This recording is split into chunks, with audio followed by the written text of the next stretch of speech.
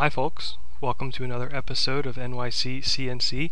This is chapter 2 in my Tormach video series, which is uh, a chapter I'm very excited to start, which is that today I bought the mill. Uh, so today on this video I wanted to go over the, the details of the purchase, the shipping and sort of handling details, talk a little bit more about why I went with Tormach versus um, the other competing products, which is a question I've had from a lot of folks, and then discuss what the next steps are.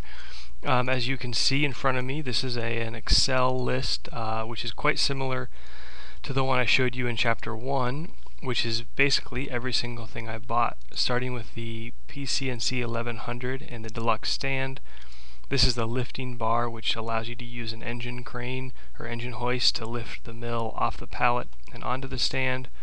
I bought the tension compression tapping head which the folks at Tormach were kind enough to notify me today that um, the part the the item I purchased is being discontinued and replaced with um, a new part which is um, designed with ATC or automatic tool changer geometry in mind and uh, since I would like to at least be able to use a tool changer in the future if it makes sense with um, the opportunity or the price. Um, they were kind enough to let me upgrade to that one. Um, the machine arm, I'll go over a lot of this stuff when the mill arrives and you're able to see that in person, but the machine arm controller, monitor, keyboard, um, the CNC operator set, which is the Tormach tooling system, um, the items here that I've colored together are a paired set. It's a keyless chuck and the requisite uh, TTS tool uh, to use that keyless chuck, which is uh, Jacob's taper number two. Um, I downgraded my Alibre. I had gone with a Pro, and they had said, you know what, you're going to be just as happy with the $100 version.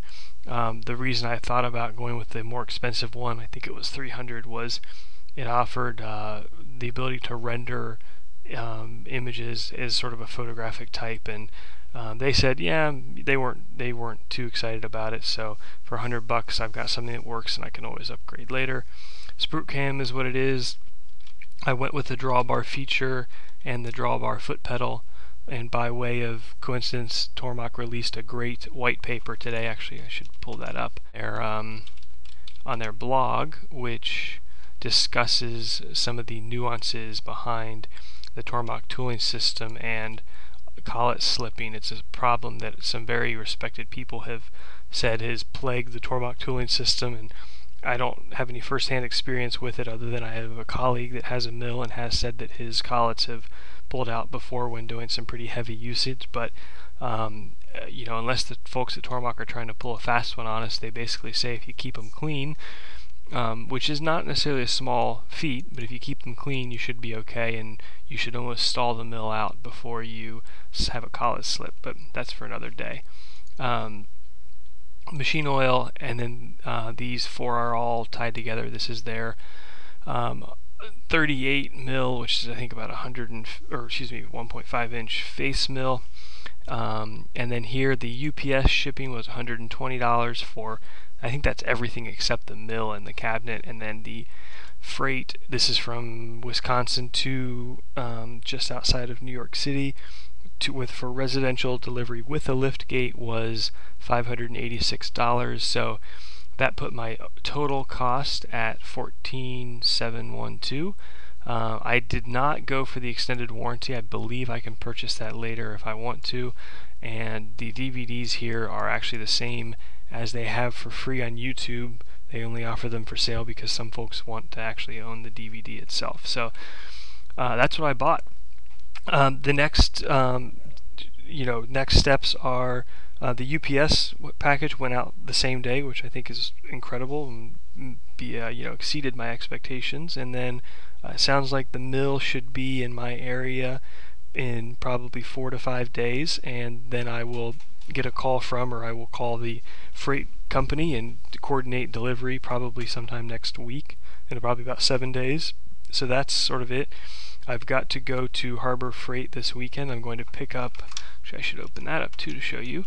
Um, I'm going to pick up their engine uh, crane that they sell, engine hoist. um, they have a folding one, which I think will be nice because I can get tuck it away when I'm done. It's $210, and I think I've got a 20% off coupon, so that's 40 bucks off, $170 plus tax, hard to beat. Um, I'm going to consider trying to get away without a pallet jack. I don't own one and I don't have easy access to one, so we'll see how that goes. Um, next, I want to talk a little bit about Tormach versus the other competing products. And I have a friend who happens to live in the town in Connecticut where Industrial Hobbies is based, and uh, yeah, I would personally consider them a major competitor, if not the biggest competitor to Tormach. Um, I had a chance to meet Gene when he was alive and, and Tommy. They were great people. Uh, I really liked um, hanging out with them for an afternoon. Um, I like a lot of the things about their mill, uh, but Tormach is more compelling to me. It's uh, a personal decision, so I'm discussing this openly because I'm walking through my um, opinions, and not that uh, anyone else needs to agree with me here. But um, look, the travel um, of the industrial hobbies when you add the table extensions is great, and the servos, I guess there's nothing wrong with them. Um, the base spindle speed is of 1600 RPMs is no good. Um, their new head, which goes up to 4000 plus, sounds better. It's not the same as the Tormach at 5000, but that in and of itself isn't a deal breaker.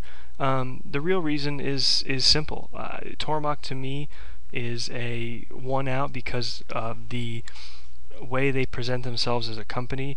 They their support seems to be unprecedented. That proved that today when they were on top of my order and how it shipped immediately, um, providing me with details about the upgraded products. Unfortunately, um, IH and some other companies have been in the forums lately for having some delays, major delays. Um, but Tormach, you know, they continue to innovate. They're coming out with new products. Um, they're hosting classes. They're doing joint ventures with the software companies. They have quality control um, both in the States and in Asia.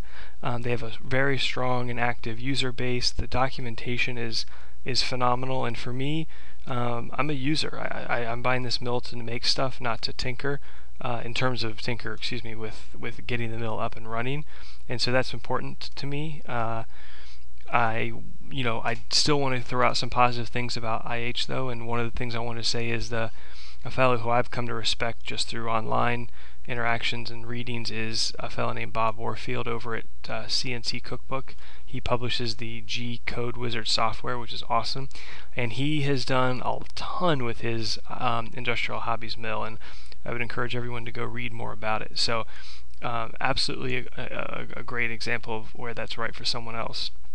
Um, lastly, let's see what else was I going to cover.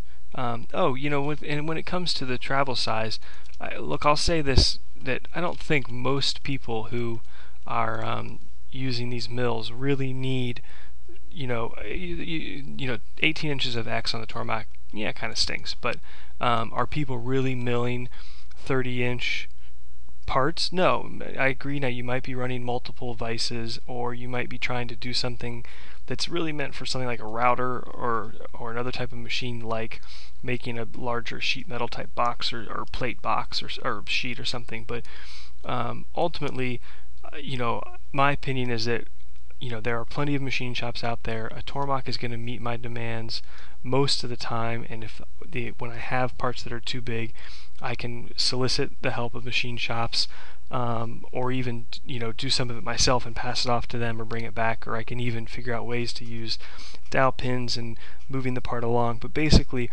um, I'm buying the machine that's right for me 90 95% of the time, and I'd rather be inconvenienced for the other times when I have something too big than to buy the wrong mill um, out the door. And look, you know, after a few years, if I'm wrong, I'll admit it. But pretty happy. Um, like I said, next step is to hop over to Harbor Freight, pick up that engine hoist, and then I really need to get my garage ready. Uh, most importantly, I've got to throw up the uh, electrical stuff to get the 220 uh, running there, and then um, the that's here today is Tuesday. On Friday, the UPS boxes will arrive, so I'm sure that'll be a lot of uh, organizing and cleaning, and take it from there. Uh, that's all for now, folks. I'll see you soon.